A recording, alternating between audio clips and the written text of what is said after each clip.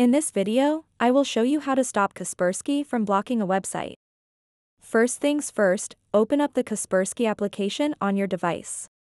Once you're in the app, look at the options on the left side panel and click on Security.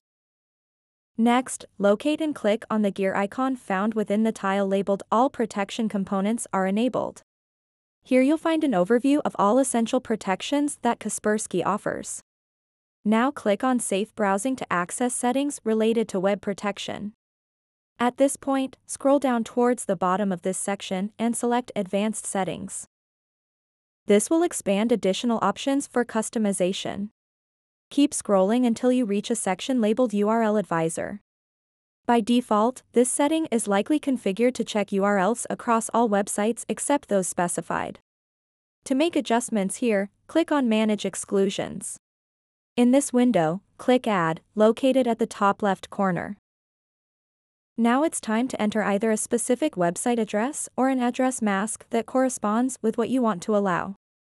After entering your desired URL or mask, hit OK at the bottom right corner. This addition will prevent Kaspersky from blocking that particular site moving forward. Next up, let's ensure even smoother browsing experiences by adding trusted URLs.